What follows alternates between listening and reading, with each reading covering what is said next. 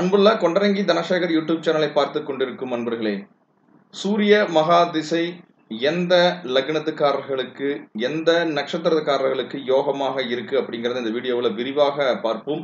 சூரிய புத்தி நடப்புல இருப்பவர்களும் கண்டிப்பாக இந்த வீடியோவை பாருங்க. உங்களுக்கு நிறைய விஷயங்கள் இதுல புரியும். சூரியன் நெருப்பு கிரகம் சூரிய குடும்பத்தை நம்பித்தான் நாம இருக்கிறோம். சூரியன் ஒரு ஜாதகத்தில் நல்ல வலிமையாக இருக்கும் பொழுது அரசு வேலை அரசியல் வாழ்க்கை உயர் பதவிகள் எல்லாமே நல்லபடியாக அமையும். படிப்பு மிக பிரமாதமாக அமையும். எல்லாத்திலையுமே லீடிங் அப்படின்னு முதன்மை தலைமை பண்பு அப்படின்னு இருந்தா அது சூரியனுடைய பலம் தான் அப்படிங்கிறத புரிஞ்சுக்கங்க. நீங்களும் ஒரு தலைமை பண்பாக மற்றவர்களை வழிநடத்தக்கூடியவராக சிறந்த ஆலோசனைகளை வழங்கக்கூடியவராக உங்களை வந்து ஒரு மையப்புள்ளியாக வைத்து தான் உங்க குடும்பம் செயல்படுது உங்களை மையப்புள்ளியாக வைத்து தான் உங்களுடைய நிறுவனம் செயல்படுது உங்களை மையப்புள்ளியாக வைத்து தான் உங்க நண்பர்கள் இருக்கிறாங்க அப்படின்னா உங்களுக்கு சூரியன் நல்லபடியாக இருக்கார் அப்படின்னு புரிஞ்சுக்குங்க. போலீஸ் வகையில நல்லா சப்போர்ட்டோட நீங்க இருக்கிறீங்கன்னா சூரியன் நல்லா இருக்கு. அரசு வேலைகள்ல நல்ல உயர் பதவிகளை அடையிருந்து நல்லபடியாக இருக்கிறீங்கன்னா சூரிய பலம் நல்லா இருக்கு அப்படிங்கிறத புரிஞ்சுக்குங்க. சூரியன் நமக்கு எலும்புகளுக்கு காரகனாக வருகிறார். கண் பார்வைக்கும் முக்கியமான ஒரு காரகமாக வருகிறார். லஞ்சம் லாவண்யம் இதெல்லாம் சூரிய பலத்துக்கு கிடையவே கிடையாது. அது ராகுவின் பலம். ஆனா சூரிய பலம் அப்படிங்கிறது நியாயமாக நேர்மையாக சம்பாதித்து நல்ல பண்போடு இருக்கக்கூடியவர்கள் தான் சூரிய ஆதிபத்தியத்தை பெற்றவர்கள். மன்னர்கள் அரசர்கள் பேரரசர்கள் ஒரு நாட்டுக்கு தலைவனாக வழிநடத்தக்கூடியவர். இப்படி இந்த தலைவர் அப்படின்னாவே அவர் வந்து பாத்தீங்கன்னா சூரிய பலம் உள்ளவர் அப்படிங்கிறத புரிஞ்சுக்குங்க. சூரியன் ஒரு ஜாதகத்தில் நல்ல பலன்கள் இப்படி கொடுக்கும்? அதாவது உங்களுடைய லக்னத்துக்கு பத்தாம் இடம்னு சொல்லக்கூடிய தொழில் ஸ்தானத்துல இருக்கும்போது நல்ல பலன்களை அவர் கொடுப்பார். ஏனென்றால் திக்பலம் வாங்குகிறார். பத்தாம் இடத்தில் சூரியன் செவ்வாய் திக்பலம். அப்போ நல்ல பலன்களை அவர் கொடுப்பார். எந்த லக்னமாக இருந்தாலும். ஆனா கடக லக்னத்தை பொறுத்த வரைக்கும் பத்தாம் இடம் அப்படிங்கிறது கடக லக்னத்தை எடுத்தீங்கன்னா மேஷத்துல வந்துடுவார் அப்போ நல்ல ஒரு பலன்களை வந்து கொடுத்துருவார். ஏனென்றால் இது உச்சபாவமாக வேலை செய்யும். இதே மகர லக்னமாக இருக்கும் பொழுது ஒரு ஜாதகர் அவருக்கு பத்தாம் இடத்துல இருந்து திசை நடத்தும் போது இங்க நீசமாகிறார் அப்போ சூரியன் இந்த இடத்துல நீசமாகும் போது திசை நடத்தும் பொழுது அவர்களுக்கு கொஞ்சம் சிரமங்கள் வருது. அப்படிங்கிறத புரிஞ்சுக்குங்க. சூரிய திசையை பொறுத்த வரைக்கும் சூரியன் சிம்ம லக்னத்துக்காரர்களுக்கு யோகமாக வருகிறார். சிம்ம ராசிக்காரர்களுக்கு யோகமாக வருகிறார். ஏனென்றால் அவருடைய சொந்த வீடு சிம்மம். நீசம் அடையக்கூடிய வலிமை இழக்கக்கூடிய வீடு துலாம். ஐப்பசி மாசத்துல இவர் வலிமை இழந்துருவார். சித்திரை மாதமான இந்த மேஷ ராசியில இருக்கக்கூடிய இந்த இடத்துல அவர் உச்ச பலம் அடைகிறார். பகையாக அவர் பாவிக்கப்படுவது மகரம் கும்பம் இந்த இடங்களுக்கெல்லாம் சூரியன் வரக்கூடிய காலகட்டம் ஒரு பகைத்தன்மை அப்படிங்கிறது அதிகமாக நிலவும். சூரியனுக்கு ரொம்ப அதிகமான ஒரு பிரச்சனை ஏற்படுத்தக்கூடியவராக சனி எப்பொழுதுமே இருந்து கொண்டே இருப்பார். அதனால சனி சூரியன் எப்பொழுதுமே ஒரு பிரச்சனைக்குரிய ஒரு காரகமாகவே ஜோதிடத்தில் இருக்கப்படுகிறது லக்ன அடிப்படையில் சூரிய திசை மேஷ லக்னத்துக்காரர்களுக்கு யோகமாக அமையும். ஏனென்றால் பஞ்சமாதிபதியாக பூர்வ புண்ணிய ஸ்தானாதிபதியாக வருகிறார். யோக பலன்களை அவர் நல்லபடியாக கொடுப்பார். ஏனென்றால் செவ்வாயினுடைய வீடு அது விருச்சிக லக்னமும் செவ்வாயினுடைய வீடு. இப்ப விருச்சிக லக்னக்கு பத்தாம் இடம் இங்க கர்மஸ்தானமாக வந்து அவர் வருகிறார் கர்மஸ்தானாதிபதியாக வருகிறார். அவர் நல்ல ஒரு இடத்துல இருக்கும் பொழுது யோகமாக இருக்கும். ஆனா ஆறு எட்டு பன்னிரெண்டு இடங்கள் இருக்கும் பொழுது யோகத்தை கொஞ்சம் குறைவாக கொடுப்பார். ஆனா ஆறாம் இடம் அப்படிங்கிறது இந்த விருச்சிக லக்னத்துக்காரர்களுக்கு மேஷத்தினுடைய பலம் வர்றதுனால இங்க உச்சபாவத்தில் இருக்கிறதுனால ஓரளவுக்கு நட்பலன்களை கண்டிப்பாக கொடுத்துருவார். ஆனா எட்டாம் வீட்லயும் பன்னெண்டாம் வீட்டிலும் இருக்கும் பொழுது பெரிய பலன்களை இவர் கொடுக்க மாட்டார். அப்போ இந்த விருச்சிக லக்னத்துக்கும் மேஷ லக்னத்துக்கும் யோகராக விளங்குகிறார் அப்படிங்கிறத புரிஞ்சுக்குங்க. அடுத்து ரிஷப லக்னத்துக்காரர்களுக்கு ஒரு சராசரியான பலன்களை அவர் கண்டிப்பாக கொடுப்பார். துலாம் லக்னத்துக்காரர்களுக்கும் ஒரு சராசரியான ஒரு பலன்களை அவர் கண்டிப்பாக கொடுத்துருவார் லாபாதிபதியாக வருகிறார். இங்க சுக்கிரன் சூரியன் ஒரு நட்பு அப்படிங்கிறது சிறந்தபடியாக இல்லை. அதனால வந்து இவர் பொருளாதார ரீதியாக மெல்ல மெல்ல தன்னுடைய நிலையை வந்து ரிஷப லக்னத்துக்காரர்களுக்கும் துலா லக்னத்துக்காரர்களுக்கும் உயர்த்துவார். வீடு வாகன சேர்க்கைகள் இதெல்லாத்தையும் ஏற்படுத்தக்கூடிய வகையில் வேலை செய்வார் ரிஷப லக்னத்துக்காரர்களுக்கு. மிதுன லக்னத்துக்காரர்களுக்கும் கன்னியா லக்னத்துக்காரர்களுக்கும் எப்பொழுதுமே வந்து ராஜா மந்திரி மாதிரி இது புதன் அப்படிங்கிறவர் வந்து பாத்தீங்கன்னா சூரியனோட மிக நெருங்கிய கிரகம் முன்பின்னே தான் இருக்கும். பாத்தீங்கன்னா நல்ல பலன்களை கண்டிப்பாக புதன் வீட்டுக்கு கண்டிப்பாக கொடுத்துருவார். அப்போ சிம்ம லக்னத்துக்கும் புதன் நல்ல பலன்களை கொடுக்கும். அப்போ பரஸ்பரம் இருவருமே ஒரு நல்ல பலன்களை ஏன்னா ராஜா மந்திரி மாதிரி தான். என்னதான் இருந்தாலும் ராஜா ராஜா தான் சூரியன் சூரியன் தான். அப்போ மிதுன லக்னத்துக்காரர்களுக்கு நல்ல தைரியமான முடிவுகளை எடு எடுத்து நல்லபடியான வாழ்க்கையில் மேன்மைகளை கண்டிப்பாக கொடுப்பார். ஷார்ட் டிராவல்ஸ் அதாவது குறுகிய பயணங்கள் மூலியமாக ஆதாயத்தை கொடுப்பார்.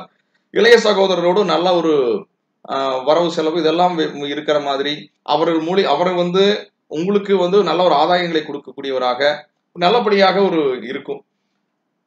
கன்னிய லக்னத்துக்காரர்களை பொறுத்த வரைக்கும் பன்னிரெண்டாம் இடத்துக்கு அதிபதியாக வந்தாலும் அதாவது இது மறைவிட ஸ்தானாதிபதியாக வந்தாலும் அவர் நல்ல படங்களை கொடுப்பார். அசுப விரயங்கள் அதிகமாக ஏற்படுத்த மாட்டார். சுப விரயங்களை அதிகமாக ஏற்படுத்துவார் அப்படிங்கிற புரிஞ்சுக்குங்க. ஏன்னா விரையாதிபதியாகத்தான் அவர் இருக்கார். இருந்தாலும் சூரியன் புதனுடைய நட்பு அப்படிங்கிறது ராஜா மந்திரி மாதிரி அப்போ பெரிய கெடுபலன்கள் கிடையாது இங்கு கிடைக்காது. கடக லக்னத்துக்காரர்களுக்கு தனாதிபதியாகவே வந்து சூரியன் வர்றதுனால மிக அற்புதமான பலன்களை அவர் கண்டிப்பாக கொடுப்பார். குடும்பம் தனம் வாக்குஸ்தானத்துக்கு உண்டான அதிபதியாக வரும்பொழுது இது எல்லாமே நல்லபடியாக இருக்கும். ஆனால் எட்டாம் இடத்துல ஆறாம் இடத்துல எல்லாம் மறையக்கூடாது. பன்னிரெண்டாம் இடத்துலையும் மறையக்கூடாது அப்படிங்கிறத புரிஞ்சுக்குங்க. எந்த லக்னமாக இருந்தாலும் பத்தாம் இடத்துலையும் பதினொன்னாம் இடத்துலையும் மூணாம் இடத்துலையும் ஆறாம் இடத்துலையும் சூரியன் நின்னார்னா ஓரளவுக்கு யோகம் கொடுப்பார். ஆனா ஆறாம் இடம் அப்படிங்கிறது ஒரு ஐம்பது சதவீதம் யோகத்தை தான் எடுத்துக்க முடியும். ஆனா உங்க லக்னாதிபதிக்கு பதினொன்னாம் இடத்திலிருந்து சூரியன் திசை நடத்தினால் யோகமா இருக்கும். ஆனால் எக்காரணம் கொண்டும் துலாத்துல வரக்கூடாது. அப்படி துலாம் ராசியில அவர் இருக்காரு சூரியன் அப்படின்னா சுக்ரன் இந்த ஜ- இந்த இடத்துல இருந்தாலும் அவருக்கு யோகமாக இருக்கும். சுக்ரன் சிம்மத்துல இருந்தாலும் யோகமா இருக்கும். ஏனென்றால் இங்க என்ன ஆகும் அப்படின்னா பரிவர்த்தனை யோகம் வாங்கிடும். துலாத்தில் இருக்கக்கூடிய சூரியன் சுக்கரன் வீட்டில் இருக்கார். இங்க சிம்மத்துல சூரியனோட வீட்டுல சுக்கிரன் இருக்கும்போது பரிவர்த்தனை யோகம் மூலியமாக நற்பலன்கள் கிடைக்கும். இப்படி நிறைய ஆய்வுகள் இருக்கு. தனுசு லக்னத்துக்காரர்களுக்கும் மீன லக்னத்துக்காரர்களுக்கும் எப்படிப்பட்ட பலன்கள் கிடைக்கும்னா இங்க குரு சூரியன் நட்பு தான். ஆனா இங்க ஒரு பெரிய ஒரு டிவைடர் இருக்குது. தனுசு லக்னத்துக்காரர்களுக்கு அவர் வந்து பாக்கியாதிபதியாக செயல்படுவார். நீங்க பாத்தீங்க அப்படின்னா இந்த போர்டுல ஏழு எட்டு ஒன்பது. இந்த ஒன்பதாம் வீடு வந்து பாக்கியஸ்தானமாக செயல்படும். இப்போ பூர்வீக சொத்துக்கள் இதெல்லாமே கிடைக்கக்கூடிய வாய்ப்புகள் நல்லபடியாக இருக்கும் பொழுது ஆறு எட்டு பன்னெண்டு எல்லாம் மறையக்கூடாது. நல்ல பாக்கியங்களை கண்டிப்பாக கொடுப்பார் உயர்கல்வியை கொடுப்பார் நல்ல உயர் பதவிகளை எல்லாம் கொடுப்பார். அப்போ வந்து ஒன்பதாம் இடத்துக்கு உண்டான அதிபதியாக வேலை செய்வார். இப்போ குருவும் சூரியனும் நட்பு தான். ஆனா இந்த மீன லக்னத்துக்கு பொறுத்த வரைக்கும் அவர் பாபியாகவே வேலை செய்வார். ஏன்னா அவருக்கு வந்து ஒரே ஒரு வீடு தான் இருக்கு அப்போ பாத்தீங்க அப்படின்னா மீனத்திலிருந்து எண்ணி வர ஆறாம் வீடாக அவர் வருகிறார். ஆறாம் வீடு அப்படிங்கிறது கடன் பகை நோய். அப்ப யாருக்கெல்லாம் வந்து சூரிய திசையோ சூரிய புத்தியோ நடக்குதுன்னா மீன லக்னத்துக்காரர்களுக்கு கண்டிப்பாக உங்களுக்கு இந்த கடனாலோ பகையாலோ நோயாலோ பிரச்சனைகள் ஏற்படும். அப்போ சூரிய திசையில வரக்கூடிய காலகட்டமோ அல்லது சூரிய புத்தி வரக்கூடிய காலகட்டமோ நீங்க ஒரு கவனமாகத்தான் இருக்கணும் அப்படிங்கிறத புரிஞ்சுக்குங்க. சரி அடுத்ததாக இந்த மகர லக்னத்துக்காரர்களை பொறுத்த வரைக்கும் அஷ்டமாதிபதியாக இருக்கார். பொதுவாக ஜோதிடத்துல அஷ்டமாதியை பத்திய தோஷத்தை வந்து சூரியன் அவ்வளவு கொடுக்கறது இல்லைன்னு சொல்றாங்க. இருந்தாலும் கண்டிப்பாக இந்த வீட்டுக்கு அவர் ஆயுள் ஸ்தானாதிபதியாக இருக்கிறனால சூரியன் மறைந்தால் யோகத்தை கொடுப்பார். மற்றவங்களுக்கெல்லாம் ஆறு எட்டு பன்னெண்டுல மறைந்தால் யோகத்தை கொடுக்க மாட்டார். ஆனால் இந்த லக்னத்துக்காரர்கள் மட்டும் ஆறு எட்டு பன்னெண்டுக்குள்ள ஒரு மறைந்தால் கெட்டவன் கெட்டிடில் கிட்டிடும் ராஜயோகம் மாதிரி திடீர் யோகங்களை கண்டிப்பாக கொடுத்துருவார் அப்படிங்கறத புரிஞ்சுக்கங்க. மகர லக்னத்தை பொறுத்த வரைக்கும் ஒரு சுமாரான யோகங்களை மட்டும்தான் சூரிய திசை கொடுக்குது. கும்ப லக்னத்துக்காரர்களை பொறுத்த வரைக்கும் இவர் வந்து ஒரு நல்ல பலன்களை கொடுப்பாரா அப்படின்னு கேட்டீங்கன்னா கண்டிப்பாக கிடையாது. இங்க பாத்தீங்க அப்படின்னா ஏழாம் கலத்தர ஸ்தானாதிபதியாக வருகிறார். கண்டிப்பா வாழ்க்கை துணையோடு ஏதாவது ஒரு போராட்டங்களை செய்து கொண்டே வாழ்க்கை ஓட வேண்டியதாகவே இருக்குதுங்க. அப்ப புரிந்து கொள்ளுங்கள் சனியினுடைய மகர கும்பத்துக்கு அவர் நட்பலன்களை குறைத்து தான் கொடுக்கிறார். சூரிய திசை நடந்தாலும் சூரிய புத்தி நடந்தாலும். சூரியன் இங்க மேஷத்தில் இருந்து திசை நடத்தினால் எல்லாருக்கும் யோகம் இருக்குது. எல்லாருமே கேட்கக்கூடிய ஒரே இது பத்துல சூரியனை பார்த்துட்டாவே போதும் உடனே அரசு வேலை கிடைக்குமா? பதினொன்றாம் இடத்துல சூரியனை பார்த்துட்டு அரசு வேலை கிடைக்குமா? பத்தாம் இடத்துல சூரியன் நிக்குது அப்படின்னா எல்லாருக்குமே கண்டிப்பா அரசு வேலை கிடைக்காது. சூரியன் நல்லா இருந்தால் மட்டுமே அரசு வேலை அப்படின்னு எடுத்துக்க வேண்டாம். ஒரு சனி மகா திசை நடந்துட்டு இருந்தாலும் அரசு வேலை வாங்கலாம். ராகு திசை நடந்தாலும் வாங்கலாம் கேது திசை நடந்தாலும் வாங்கலாம். சூரிய புத்தி நடக்கிறவர்களுக்கு தான் கிடைக்கும் அப்படிங்கிறதெல்லாம் கண்டிப்பா கிடையாது. அவர்களுடைய பலம் ஜாதக ரீதியாக கிரக பலம் இருக்கக்கூடியவர்கள் தான் வாங்க முடியும் அப்படிங்கிறத புரிஞ்சுக்குங்க. நிறைய பேர் கேட்கக்கூடிய விஷயமே இன்னைக்கு தேர்வுகள் எல்லாமே அரசாங்க ரீதியாக தான் வருது. அப்ப அரசாங்க ரீதியாக நம்ம எழுதி பாஸ் பண்ணுவோமா பாஸ் பண்ணுவோம் தான் எல்லாரும் கேட்கறீங்க. இங்க உங்களுடைய பலம் அப்படிங்கிறது உங்களுடைய ஐந்தாம் இடத்தை வைத்து தான் தீர்மானிக்கப்படுகிறது. ஏனென்றால் அந்த ஐந்தாம் இடம்ங்கிறதா புத்திஸ்தானம். நீங்க உட்காந்து ஹாலில் உட்காந்து எக்ஸாம் எழுதுறீங்கன்னா அந்த ஐந்தாம் இடம் புத்தி கரெக்டா அன்னைக்கு சிங்கானா மட்டும்தான் நீங்க ஜெயிப்பீங்க. அடுத்ததாக நட்சத்திர வாயிலாக உங்களுக்கு சொல்றேன். சூரியனுக்கு மொத்தம் மூணு நட்சத்திரங்கள் வந்து ஜோதிடத்துல கொடுத்துக்கிறாங்க. கார்த்திகை உத்திரம் உத்திராடம் இந்த நட்சத்திரங்கள். இந்த நட்சத்திரத்துக்காரங்க முதல்ல வந்து பாத்தீங்க அப்படின்னா ஆரம்பத்திலேயே சூரியனுடைய திசை நடந்து முடிஞ்சிடும் இது பா அதாவது வந்து குழந்தை பருவத்திலேயே முடிஞ்சிடும் அடுத்ததாக சுக்கிரனுடைய நட்சத்திரங்களை பெற்றக்கூடிய பரணி பூரம் பூராடம் இவர்களுக்கும் ஒரு ஒரு பத்து வயது அப்படிங்கிற கணக்குக்குள்ள உங்களுக்கு பத்துல இருந்து ஒரு பதினஞ்சு வயது அப்படின்னு எடுத்துக்கலாம். ஏனென்றால் சுக்கிர திசை இருப்பு பொறுத்தும் அது கொஞ்சம் மாறும். அப்போ அதுவும் பால்ய பருவத்திலேயே முடிஞ்சிடும் அப்படிங்கிறத புரிஞ்சுக்குங்க. அடுத்ததாக இந்த அஸ்வினி மகம் மூலம் இந்த நட்சத்திரக்காரர்களுக்கு சூரிய திசை கொஞ்சம் காதல் கவனச்சிதறல்கள் இது எல்லாத்தையும் ஏற்படுத்தும் பார்த்து கவனிச்சு இருக்கணும் அப்படிங்கிறத புரிஞ்சுக்குங்க. வாழ்க்கையில அதிகமான ஒரு முன்னேற்றத்தை வந்து கண்டிப்பாக அடைவீர்கள்.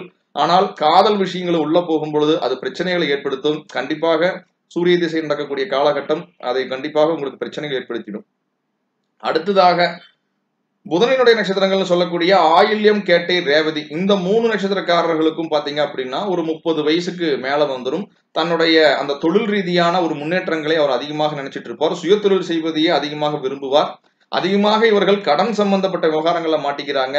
வேலையில பிரஷர் வேலையில பிரஷர்னு சொல்லிக்கிட்டே வாழ்க்கையை ஓட்டுறது அதிகமாக உங்களுக்கு இருக்கும். கணவன் மனைவியிடையே அடிக்கடி சில பிரச்சனைகள் ஏற்படும். ஆனா எல்லாமே நடந்துகிட்டே இருக்கும். எதுவுமே பெரிய அளவுக்கு தீமையான பலன்களை கொடுக்காது. இதெல்லாம் சராசரியாக நடந்துகிட்டே இருக்கிற மாதிரி தான் பண்ணும் அப்படிங்கிறத புரிஞ்சுக்குங்க.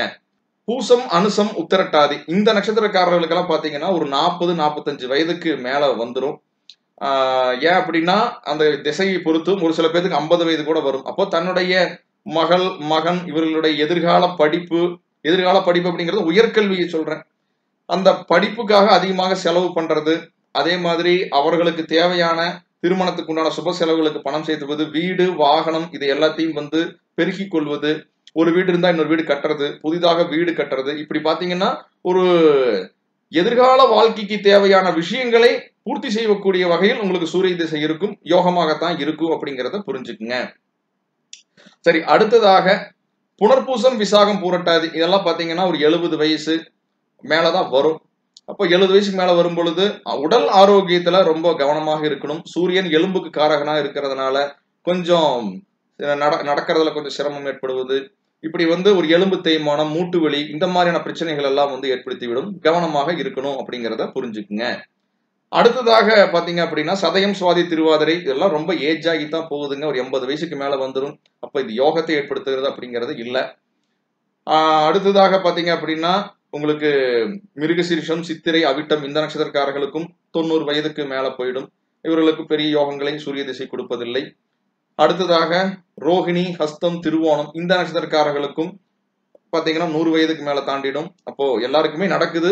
ஒருத்தருக்கு பால்ய பருவத்துல நடக்குது மாணவ பருவத்துல நடக்குது ஒருத்தருக்கு இளமையான பருவத்துல நடந்துடும் அடுத்ததாக மத்திய பருவத்தில் பருவத்துல நடக்குது ஒருத்தருக்கு முதுமையான பருவத்துல நடக்குது. அப்போ திசை ஒவ்வொருக்கும் நடந்துட்டு தான் இருக்குது. புத்தியை பொறுத்த வரைக்கும் சூரிய புத்தி பொறுத்த வரைக்கும் எல்லாருக்குமே கண்டிப்பாக வந்துடும் ஏனென்றால் ஒரு திசை சனி திசை நடந்தாலும் சூரிய புத்தி வந்துடும் கே திசை நடந்தாலும் சூரிய புத்தி வரும் சுக்கர திசை நடந்தாலும் சூரிய புத்தி வரும். அப்போ சூரிய புத்தி வரக்கூடிய காலகட்டங்கள் நான் மேற்சொன்ன அந்த லக்னத்துக்கு என்ன பலன்கள் சொன்னனோ அந்த பலன்கள் இருக்கக்கூடியதை நீங்க வாங்கிக்கங்க கேட்டுக்குங்க. பன்னிரெண்டு லக்னத்துக்காரர்களுக்கும் இருபத்தேழு நட்சத்திரக்காரர்களுக்கும் வீடியோவை வந்து உங்களுக்கு நான் ஒரு கொடுத்துருக்குறேன். இது கொஞ்சம் அதிக நேரம் உங்களுக்கு போயிருக்கு. இன்னும் அடுத்தடுத்து நான் லைவ்லயே வந்து உங்களுக்கு நிறையா கொடுக்குறேன். ஒவ்வொரு திசையும் வந்து பற்றி வீடியோவை வந்து சுக்கர திசை சனி மகா திசை ராகு திசை கே திசை புதன் திசை எல்லா வீடியோகளும் நான் கொடுத்துருக்கிறேன். எல்லாமே என்னோட சேனலில் நீங்கள் பார்க்கலாம். உங்களுக்கு சூரிய புத்தி நடப்பவர்களும் சூரிய திசை நடப்பவர்களும் இந்த வீடியோ உபயோகமாக இருக்கும் அப்படிங்கிறத நம்புகிறேன் உங்களுக்கு வரும் திசை சூரிய திசையாக இருந்தாலும் இது கண்டிப்பாக உங்களுக்கு உபயோகமாக இருக்கும் நம்புறேன். கண்டிப்பாக கமெண்ட்ஸ் பண்ணுங்க. நன்றி. நமசிவாய்